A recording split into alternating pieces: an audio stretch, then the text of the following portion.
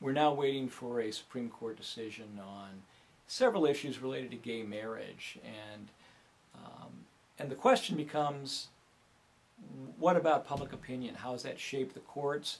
And also, how has the media shaped public opinion? And the relationship between the media and public opinion is really one of those sort of chicken or the egg kind of questions. What comes first?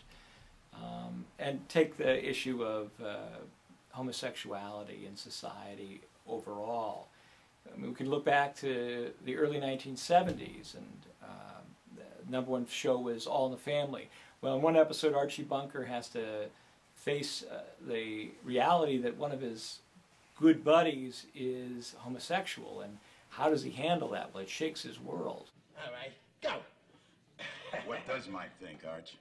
Oh, Mike, jeez. Well, for one thing, he thinks that friend of his, Roger, is straight. And for another thing, well, Steve, you're going to want to bust him wide open when I tell you this. I don't know where he gets these brainstorms, but he thinks that you're the... I can't even say it, dear Steve. He's right, Arch. Huh?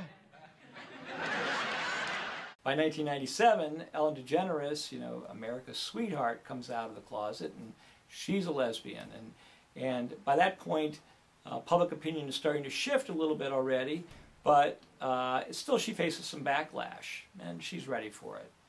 Uh, later on, now in more recent years, we've clearly seen a changing of the tide in public opinion in the United States. The Gallup poll from 2001 to 2010 shows we've moved from um, uh, disagreeing with uh, homosexuality now accepting it. These days, we've had Will and Grace in the past decade.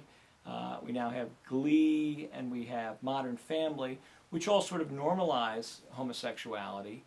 And the question is, are we shaped by that or do we shape the media? And of course, it works both ways. So the chicken and the egg metaphor works here.